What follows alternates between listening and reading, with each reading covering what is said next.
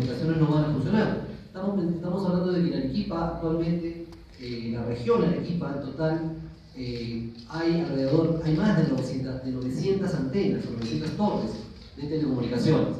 Eso, eh, si bien es importante, ya Ángel mostró que Arequipa está en segundo lugar en, eh, en este ranking regional que hemos hecho también a nivel del país.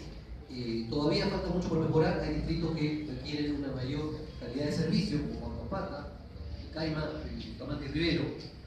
Eh, la inversión es fundamental, ¿no?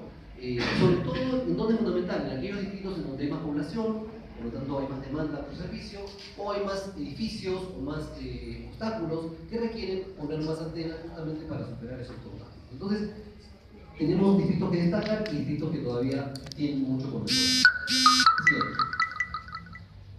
Eh, esta lámina